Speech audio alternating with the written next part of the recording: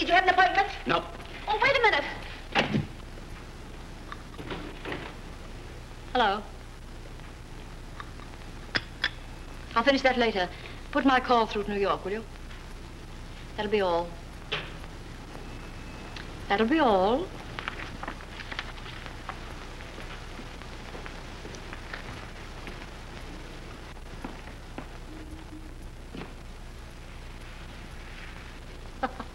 Yep.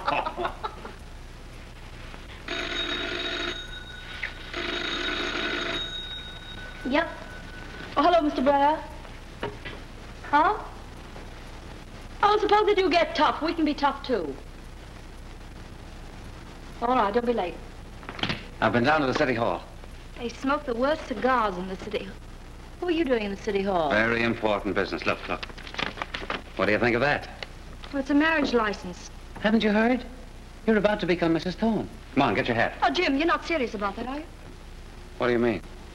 Well, well, Now, wait a minute. Let's get this thing straight. Are you telling me you won't marry me? I never thought of such a thing. Then last night didn't mean anything to you. Oh, of course it did. But, well, marriage isn't for me, for us. After all, we can be so happy as we are. Don't let's spoil everything. Then you don't love me. Oh, Jim, you're being unreasonable. I'm just one of the boys, is that it? Don't be absurd. You're being old-fashioned. Is it old-fashioned to want to be decent? Old Lexington. I suppose you think you're too superior for marriage. And love and children, the things that women were born for. Say, who do you think you are? Are you so drunk with your own importance you think you can make your own rules? Well, you're a fake. You've been playing this part so long you've begun to believe it. The great superwoman. Cracking your whip and making these poor fools jump around. You and your new freedom. Why, if you weren't so pathetic, you'd be funny. You better go. Don't worry, I'm on my way. But the laugh's on me, offering a marriage license to a pickup.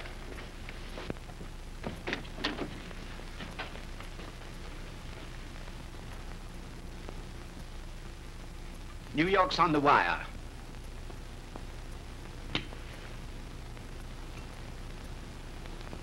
Hello.